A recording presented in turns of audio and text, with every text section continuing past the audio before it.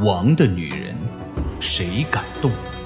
作者：拈花惹笑，演播：一刀苏苏，一种侃侃，后期制作：千雪。第一千零六十集。姐，我姐夫他不是这个意思，你别误会了。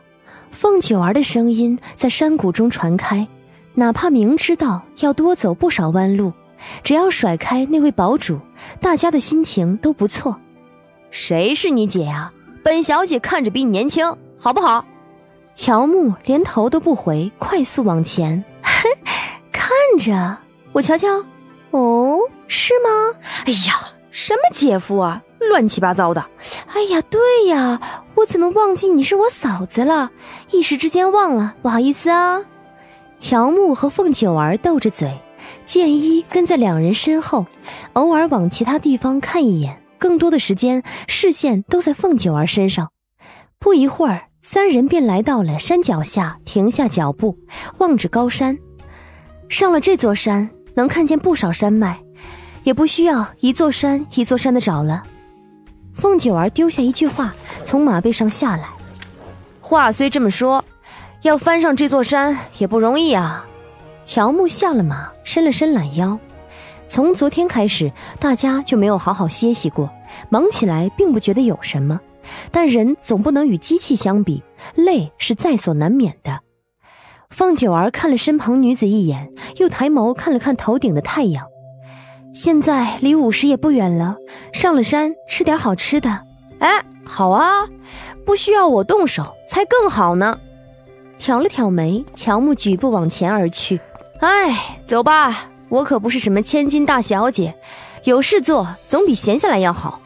凤九儿轻轻拍了拍马背，放开马绳。追月，别到处乱跑，等我回来。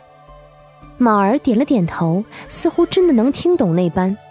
要征服的山头何止一个，凤九儿也不再耽误，转身跟上乔木的脚步。剑一总是安安静静，很多时候你甚至可以忽略他的存在。可他总是能时刻出现在凤九儿身旁，从不缺席。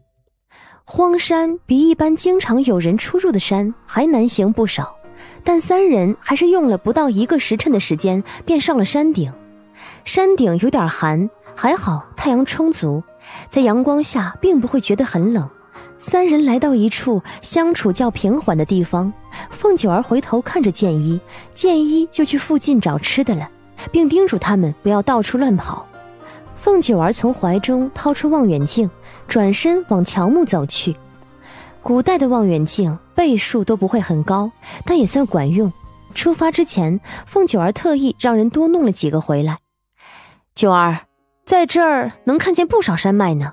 站在峭壁上的乔木一上来便开始眺望远处，一眼望过去。除了山脉还是山脉，可偏偏他们要的就是山脉。是啊，想象着有一座山上有金子在发光，心情会不会好一点？凤九儿微微勾了勾唇，在乔木相隔不远的地方站稳了脚步。她拿着望远镜，视线开始在这些远近不一、密密麻麻的山峰上游走。九儿，这么看，哪怕真的有，你能认出来吗？乔木在一旁比较平滑的石块上坐下，我觉得还是多走走才行。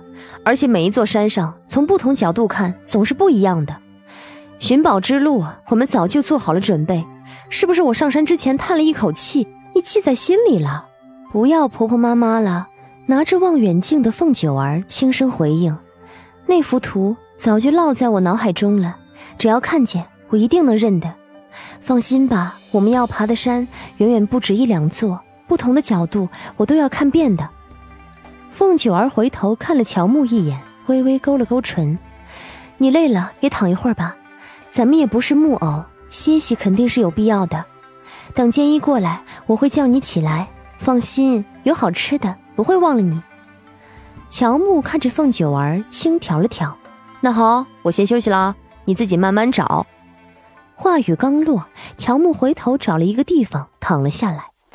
凤九儿假装不在意，眺望了一会儿山脉，才回过头，看着乔木闭上双眸，她浅浅叹息了一声：“凤九儿知道乔木为何累，她一整夜不眠不休地守在外面，还要担心他们在里面的情况，怎么可能不累呢？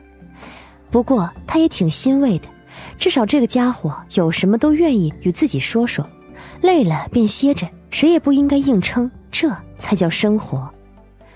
可悲的是，凤九儿看了两三刻钟的时间，双眼早就看花了，还是完全没有发现一点点相似的山脉。虽然这样的结果早就在他的预料之中，他还是有几分失落。从某座高山收回视线，他感觉到有人在靠近。如何？靠近的剑一手中拿着两只烤鸡，还有几个红薯。这么快？看见肥美的烤鸡，凤九儿刚才的那点小失落早就烟消云散了。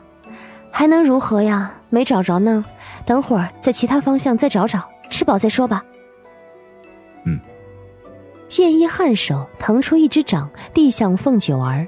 凤九儿垂眸看了一眼，伸出手牵上了他的掌，一跃落回到了平地上。给他留两只鸡腿吧，反正还没下山，让他多睡一会儿。凤九儿看了看乔木，才回过头与剑一一同坐下。好。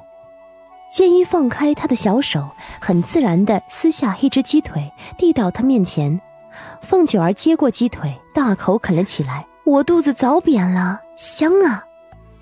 剑一看了身旁的女子一眼，才将美食放在了一片干净叶子上。他拿起一只鸡，将鸡腿、鸡翅膀都卸下，放在叶片上，自己开始撕扯鸡身上剩下来的肉。凤九儿不一会儿便啃完了一只鸡腿。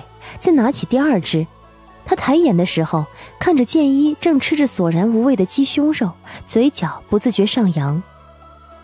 给。凤九儿将手中鸡腿递给剑一，他突然发现剑一也挺可怜的，似乎他的出现就是为了被他欺负一般。凤九儿不知道剑一以前和凤青音是如何相处的。可好歹人家凤青音在家有爹疼，进宫还当了贵妃，跟在他身旁，至少能白白胖胖。剑一跟着他，似乎也没过几天好日子。本集播讲完毕，请您继续收听下一集。